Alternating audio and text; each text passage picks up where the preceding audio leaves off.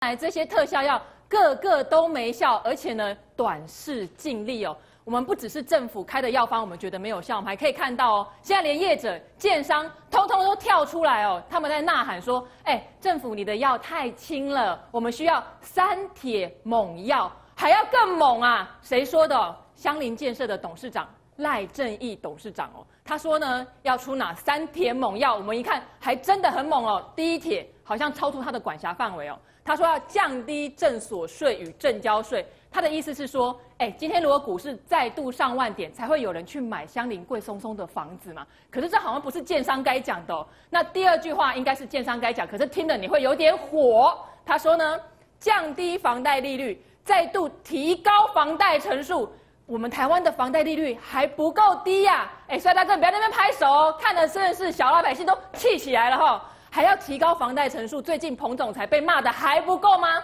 对不对？现代区现在都一个一个开放了，然后再来呢？哇，这个好像也超出他的范围。他说政府最好去筹多少？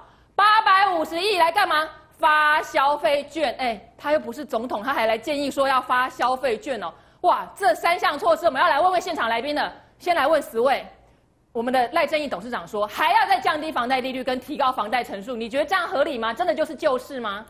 他自私也不是三天两天的事情了。你看，选个理事长还要跟人家告来告去，这样子理事长我觉得还蛮丢脸，在他的那个产业里面啊，今天根本就是爽到他，干股到大家。你发消费券是拿我口袋的钱是发给大家，有用吗？没有用。再来就是我想要跟赖正义讲说，要不要我教你三招救香菱？为什么三招就对了？对啊，教你救香菱三招啊！第一个，你的韩碧楼半价好不好？抢市嘛，因为我不知道说你韩碧楼到底业绩好不好。如果你业绩不好，然后在那边讲说要政府来发消费券，OK，你韩碧楼半价，我想一定爆嘛，因为隔壁的那个云品的评价都比你高很多了。第二招呢，你那卖不掉的香菱叫什么？我都忘记了，香菱纯青啊。半价出售，因为你那个新装那个案子开太高了，高到没人要买，所以半价出售。第三个，你的相邻黄居不用半价出售，因为你现在二字头房价都没人要，所以你可以做台中的社会住宅七折出租，如何？这样子可能会把你的相邻股价救好一点。好，所以十位是觉得是相邻自救，不见得是救市了哈。但是我们要问一下那个蔡总了，蔡总。消费券我们发过啊，那你觉得现在我们的赖董事长说再发一次消费券要斥资八百五十亿，你觉得会不会有效呢？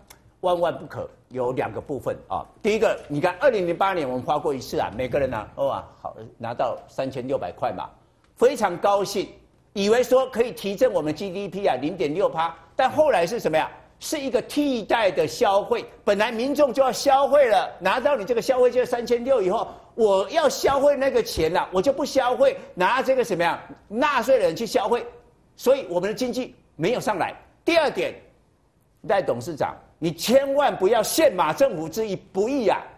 现在要选举啊，你花了这个消费券，形同买票啊！哦，买票这就严重了耶。对，可是我刚才看到帅大哥啊，我一边念，他一边拍手叫好，哎，你会觉得他的政策完全对，就是。去年才花一次三千六，我等那么久了，花六千了，一千三百八十亿而已，小确幸啦。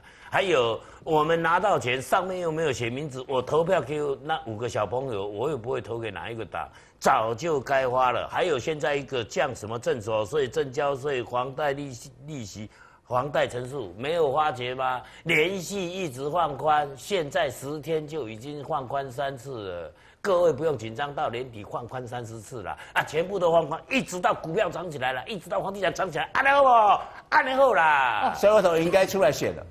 对啊，因为蔡总都讲了，这样发消费券形同买票啊。摔过头觉得你甘愿被买，小老百姓也被买的开心，是这个意思喽？小确幸啦，有幸福感啦。我刚才看到一个人哈，脸色也很凝重，就是我们的高超哥。超哥脸色怎么那么臭？不是，我其实哈很想不跟他同台哈，但是既然同台，我也很小不跟他都是有一样的观点哈。今天是第一次跟他有一点点相近的观点。我刚刚提到，其实未来的最重要是不是在成数的贷款，而是在利息降低。我们现在是在等美国 FED 不要升息，他如果不升息，我们绝对会降息，因为我们的重贴息率是百分之一点八七五，距离过去历史新低是一点二五。还有大概两码到三码降的空间，所以我们央行是在等美国了。为什么自己不用自己的自主的主权？你就像我们自己要做主权基金嘛，一样嘛哈。所以我们不要等太多的事情。其实现在台湾的刚刚这个蔡总提到，我们的 GDP 下就是一点一点五五几哎，到可能会保一不住了。如果你保一不住的话，请问你，你以后就救不来了。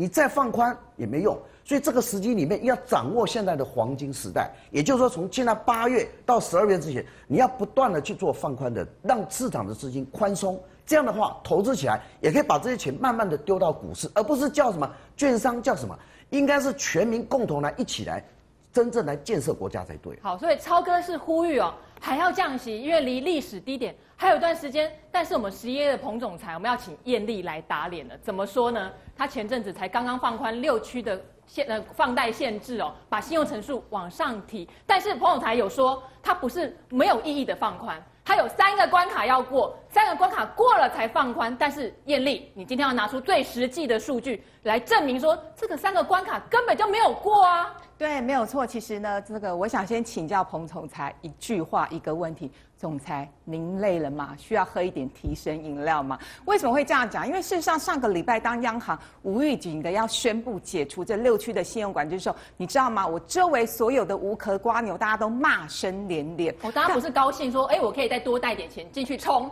是骂声连连，觉得完了，我又买不起房子。对，没错，大家会觉得说，好不容易打房有一点点的成效，怎么这个时候呢？央行就居然放弃了，而且是解除信用管制的一个情况。好了，外界的一个质疑哦，彭总裁不是没听到，所以我们看到这几天央行也出来解释，央行说，哎，我们不是随随便便放宽，我们是有严格的标准，必须符合这三大前提才可以做这样的一个信用管制的一个解除。